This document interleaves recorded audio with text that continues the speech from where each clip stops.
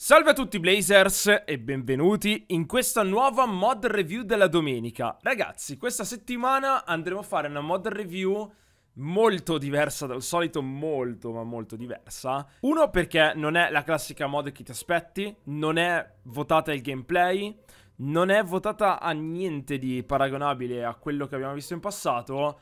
E due perché è davvero un casino da usare, ma cercherò di spiegarvelo al meglio.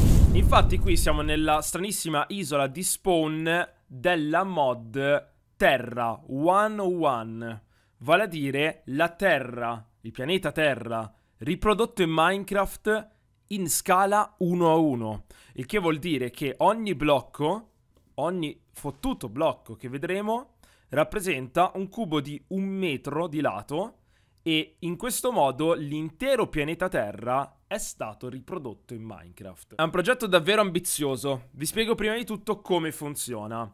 Questa mod si basa sui classici dati che abbiamo a disposizione un po' tutti. Se andiamo su internet e digitiamo Google Maps abbiamo la mappa di tutto il mondo. E quindi basandosi su dati a disposizione di tutti gli utenti hanno creato un generatore di mondi che va a prendere quei dati e a replicarli su Minecraft. In questo modo si ricrea il pianeta Terra in maniera quasi, diciamo, identica, fedele, scala 1 a 1.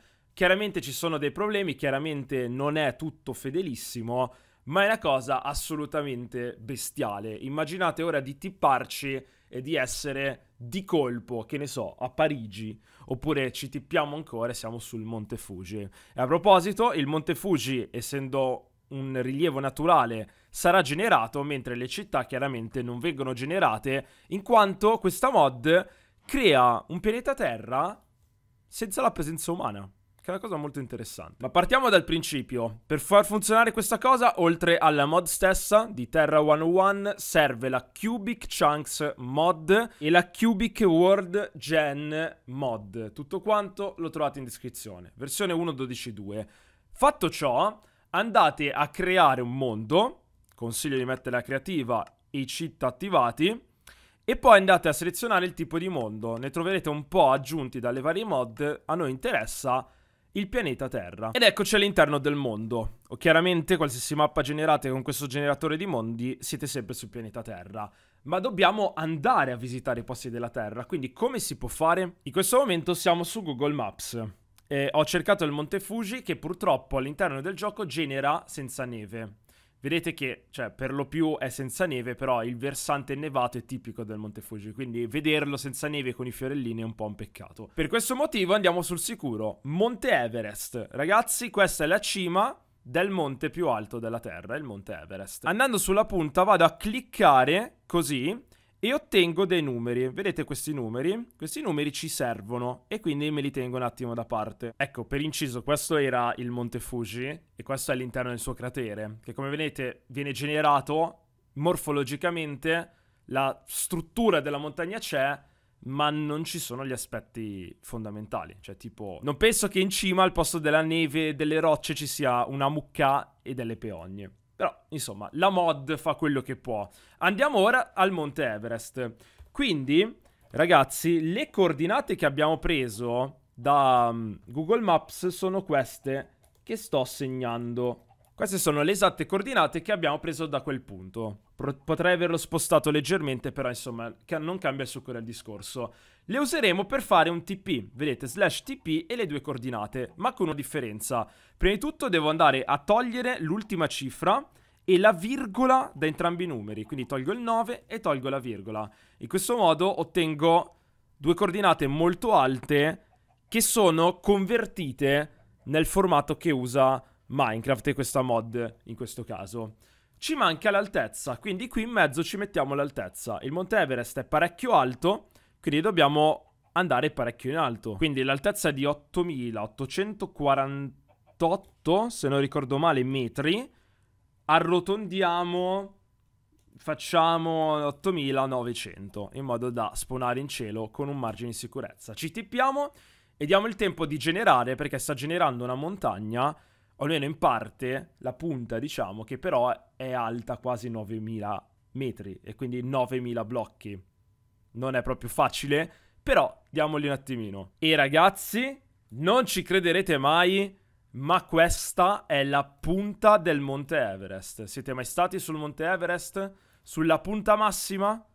Che quindi sarebbe questa? No? Beh, io adesso posso dire di esserci stato alla bellezza di 8752 metri. Che non è perfettamente accurato. Però, insomma, no, non siamo qua a pettinare le bambole. E ce ne facciamo una ragione. Questa stradina che vediamo tagliare la montagna è probabilmente una, uno dei percorsi che usano gli scalatori per arrivare in cima. Chiaramente lo sterrato serve a rappresentare il percorso riprodotto dalle mappe, anche se non è perfettamente realistico, anzi non lo è per niente, potremmo dire. Così come il coniglietto in cima all'Everest. Mm, non lo so, ho qualche dubbio. Per dimostrarvi che questo è il Monte Everest, comunque, al di là dell'altezza, notiamo un versante davvero ripido. Ci sono delle grotte ed è possibile trovare cascate, anche di lava, vi avviso. Questi sono ovviamente elementi della generazione dei mondi di Minecraft che vanno a minecraftizzare il mondo reale, in questo caso. Però devo dire che cioè, l'idea che tutta la montagna sia stata riprodotta è qualcosa di incredibile. Solo facendo così noi siamo scesi di qualche centinaio di blocchi ed è alta migliaia di blocchi. Quindi per arrivare a terra ce ne vuole tempo, oltre che siamo su una catena montuosa enorme, quindi qui possiamo fare il primo dislivello di quanto? 4.000 blocchi, forse? e non di più. È appena successo che ho ittato una cascata, si è attivata l'acqua, ora l'acqua inizierà a scorrere dal versante della montagna e potenzialmente lo farà per migliaia di blocchi. Ecco, se non è questo un problema di lag, non so cosa, cos'altro possa essere. Forse è meglio andarcene subito da qui. E potremmo visitare un sacco di posti come il Grand Canyon, ad esempio, del quale sto cercando di salire una parete con non poche difficoltà. Eh, fa davvero paura, ragazzi. Io non l'ho mai visto nel mondo reale, ve lo dico. Però caspita, rende l'idea di quanto può essere alto. In questo momento, ad esempio, mi trovo invece al Makapu Point, sperando si pronunci così, e siamo alle Hawaii. Infatti qua sotto, da questo punto di osservazione, abbiamo l'inizio dell'oceano.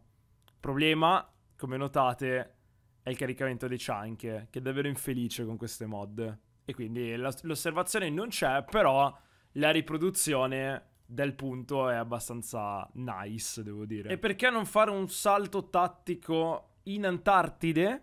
Ma sì, ho preso un punto a random dell'Antartide e mi ci sono tippato. Anche qui sicuramente non credo di trovare coniglietti e fiorellini gialli, però è simpatico il fatto che ci sia questa distesa enorme di, di neve e probabilmente da qualche parte ghiaccio. Senza fine. E questo pone un'altra domanda. La Terra è una palla, Minecraft è piatto. Quindi o hanno ragione i terrapiattisti o qualcosa non tornerà se ci avviciniamo ai confini del mondo. Quindi cosa c'è ai confini del mondo? Tristemente la risposta è che non c'è un bel niente. Il mod maker vorrebbe inserire dei confini del mondo magari con eh, del, del void improvviso, qualcosa del genere. Ma al momento il fatto è questo: le mappe di Minecraft sono molto più grandi del mondo reale. E quindi l'intera mappa del mondo è contenuta in una piccola porzione della mappa di Minecraft. E quindi oltre alla generazione del pianeta Terra, ad esempio nel Polo Sud, il mondo continuerà a generare una landa ghiacciata all'infinito, o per meglio dire, finché non incontreremo la barriera che ci impedirà di continuare oltre. E per concludere, mi sono spostato in Egitto. Questo è il punto ideale per fare una riflessione finale e chiudere questa mod review davvero bizzarra. Ci troviamo in cima ad una delle piramidi di Giza. Come vedete, non ha l'aspetto di una piramide. Il generatore del mondo ha tentato infatti di generare questo ambiente pensando che la piramide fosse una normale collina e quindi poi l'ha smussata e l'ha abbinata con eh, il resto del bioma circostante. Questi ed altri esempi ci fanno capire quanto questa mod sia in realtà limitata, nel senso che non può riprodurre alla perfezione il mondo reale, ma allo stesso tempo di quanto sia un esperimento davvero gigantesco, perché ovunque ti tippi trovi una riproduzione del mondo reale e magari ci assomiglia vagamente, c'è qualcosa che te lo ricorda, non sarà mai identico, non sarà una riproduzione fatta a mano, però è davvero una cosa notevole. Volevo portare un video su questa mod perché è un progetto davvero interessante e sicuramente dal lato tecnico fantastico, dal lato estetico un po' meno, lato giocabile secondo me quasi pari a zero, ma è da tenere d'occhio e magari in futuro ci riserverà qualche bella sorpresa. Intanto ragazzi io direi che per oggi è tutto, noi ci salutiamo, ci vediamo domenica prossima con un'altra mod review e stasera in live alle 20.30 sul canale che trovate in descrizione. Un saluto da Eren Blaze, ciao a tutti!